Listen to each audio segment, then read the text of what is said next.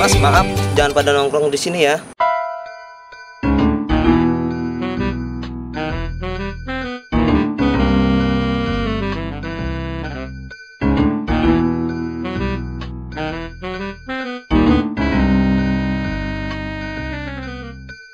Kenapa nggak boleh mas?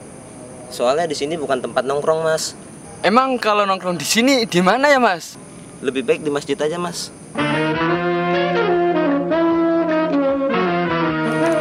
us